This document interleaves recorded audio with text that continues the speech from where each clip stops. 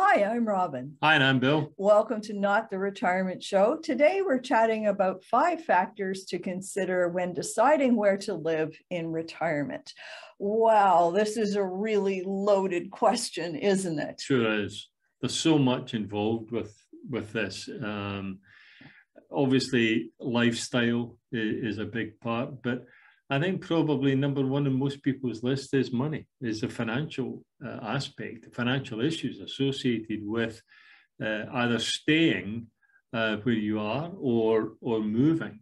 So um, I think if we I think if we look at those in perhaps maybe three categories, I would imagine. Uh, number one would be stay in the main house where you've lived all your life. Uh, don't move, just do nothing. Uh, I'll come back to that in a minute. Second one would be uh, stay in the main house, but perhaps uh, buy a vacation home, maybe even buy an RV, I suppose, uh, so that you could spend part of your time, your retirement years, away from the main house, away from home, which is always uh, good in some respects. And then, of course, the third one is downsizing. I mean, that's a huge issue. I don't even know where to start with all of this. I keep hearing that song in my head should I stay or should I go? Yeah. But I don't want to make a joke out of this because this is a very emotionally charged discussion. In fact, we're going to have a whole nother video coming out just on the emotional aspects of downsizing. So let's stick to the money discussion for today. The first one you talked about is staying in your house.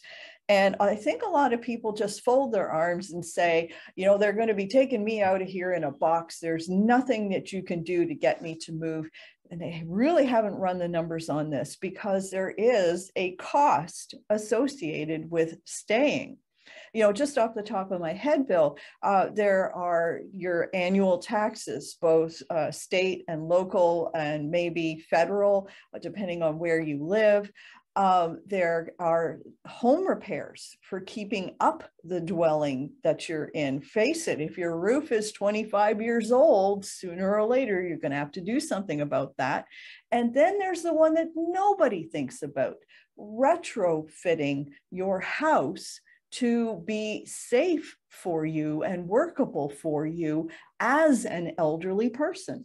Well, I think you're right, you know, uh, uh, but I think the big one is the mortgage. Uh, now, if you are in the fortunate position that you've worked very, very hard and that you either cleared off the mortgage before you retired, therefore you, you've got no mortgage payments now in retirement, or at the time of retirement, um, you, you had your retirement fund and you used part of that fund to pay off the, the balance uh, of, the, of the mortgage uh, and then obviously again you don't have any mortgage payments.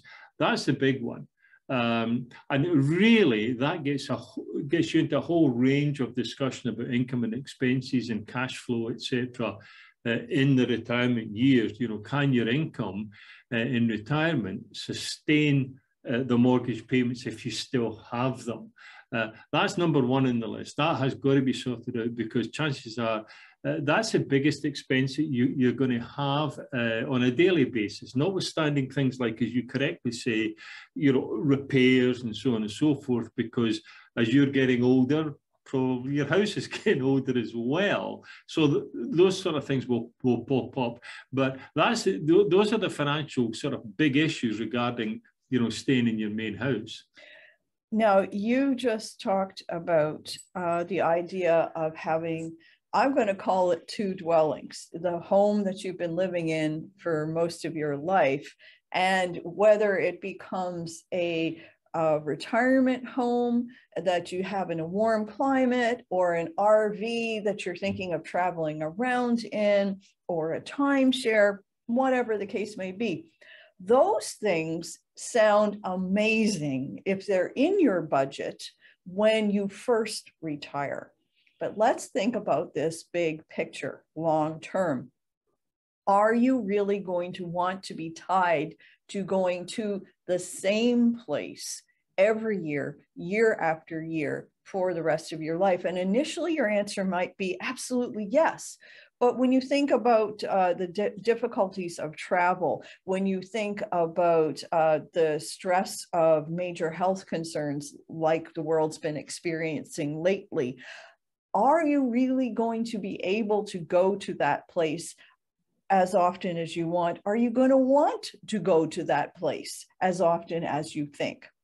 Same thing with the RV. The RV is a great idea initially when you're in your early retirement, you're in really good health, you want to be behind the wheel of the big rig, if you will. Who wouldn't like that? How long are you going to really feel like driving that really big, heavy vehicle as you get older? are the kids really going to want to spend time with you there? Is that going to be a realistic scenario for you long term? Does it make economic sense? Yeah, I think the vacation home, I think the point you're making are very good because I think the vacation home issue is. Um, you know, you're going to the same place um, every, well, I was going to say every year, but maybe you want to do it two, three, four, five times a year. Um, but does the boredom factor kick in? So no, all, all, you're going to do is you take, you know, boredom at home because you're in retirement uh, and move the boredom to a different place. And it happens to be the same place uh, that you go to time after time after time. I don't think that's an easy, uh, you know, decision. Uh, I mean, obviously, the alternative is to is to find a place that you like to go to geographically. I mean, a, a nice location, and you know, I mean, if you're only going to go for one month a year, perhaps, then just rent something um, so that you don't have to worry too much about the financial consequences. Clearly, you obviously have to pay the rent for the month, granted. But when you add up all the numbers associated with staying in your main house, we've talked about the mortgage, whether that's there or whether that's not there, repairs and just running costs, etc. Uh, you may find that you know a monthly rental um, once a year or maybe twice a year if, if, if you want in different places uh, makes an awful lot more sense. I think the RV point is is is the same. You know, the the, the big advantage of the of the RV is you're not in the same place every night. Uh, well, you, you, could be. You could choose to be, obviously, but but you know, you you can move.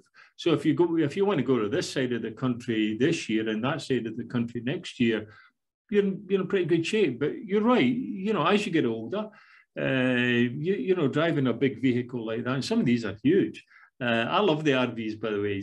I, you know, if I could get one here, I would. I would have one here. I, I, absolutely love the RV concept. But again, you've got to look at it looking forward. If you're going to spend a lot of money to buy uh, an RV initially uh, at the front end, shall we say, of your retirement years, as you move through retirement, um, you know, maybe you've paid it off, obviously, or maybe you do have some loan associated with that, you're still paying. But there comes a point in time where you say, you know what, I just can't be bothered. I just, yeah, I just don't want to. And that applies to the vacation home just as well. I know people who who have bought in different places, uh, particularly in the States. And, you know, the notion about, as you rightly say, traveling and whatever sort of thing, but that'll come back. Um, you say to them, so you going to the house this year? And they go, yeah, I don't know. You know, they get bored. I couldn't agree with you more. And now let's not forget the big scary elephant in the room, downsizing. Now, as I said, we're going to have a whole separate video that talks just about the emotionalism associated with downsizing. So let's just talk about the finances. Here's where downsizing might make sense. Supposing you had a large family and you're sitting there watching this in a three or four bedroom house, and it really doesn't matter if you're in the suburbs or in the middle of a big city, if you're in a property that large and your mortgage is either small or paid off, economically, financially, there's an argument to be made for selling that property and getting so much cash out of the proceeds of the sale that you could have a a new uh, property to live in for most of the year a small place to go in the wintertime or on vacation and even some cash in the bank to help pay for your daily expenses as you go forward in time leaving aside the lifestyle issues, which, as you say, we'll talk about, you know, in, the, in, in an upcoming video, uh, the financial side of this is very simple. It's very clear. If there is the ability to release equity, and equity simply means the value of your house today less any liability. So if you've cleared off your mortgage, you're, you're pretty much free of liability. So you've got, you know, hopefully you've got pretty good equity in the house. So it's called equity release. So you're going to release that equity. You're going to take the cash, in other words. Obviously, you don't sell until you buy, uh, you know, a new place. But that's a big, big thing because what you're going to have to look at then is that, you know, if if you sell your existing property, um, then you, you've got a new property to buy. So out of that equity release, the first thing you have to take out is the cost of the new property. You know, prices have all gone up, so you you would want to be careful that you're not, as it were, taking good equity release, but then discovering that when you go to the new place, depending on your likes and your dislikes, you you know you're going to spend a big chunk of that, um, you know, to buy the new property. Because what, as you say, what you want to be able to do is to buy the new property, really uh, take some of the the balance of the equity release in cash, put it in the you know in the investment account or whatever, so that to provide income for you over the you know the ensuing years. So the equity release uh, calculation is by far and away the biggest financial issue that you should that you would face. As we say in all of our videos, Bill and I are not certified financial planners. These are complicated things, but that you can have a good outcome if you take the time to go and discuss all of these things with a financial expert before you commit yourself, before you make decisions. Well, if you're still listening, we must have said something helpful. So please subscribe to our channel and we'll talk to you again soon. Take care, everybody.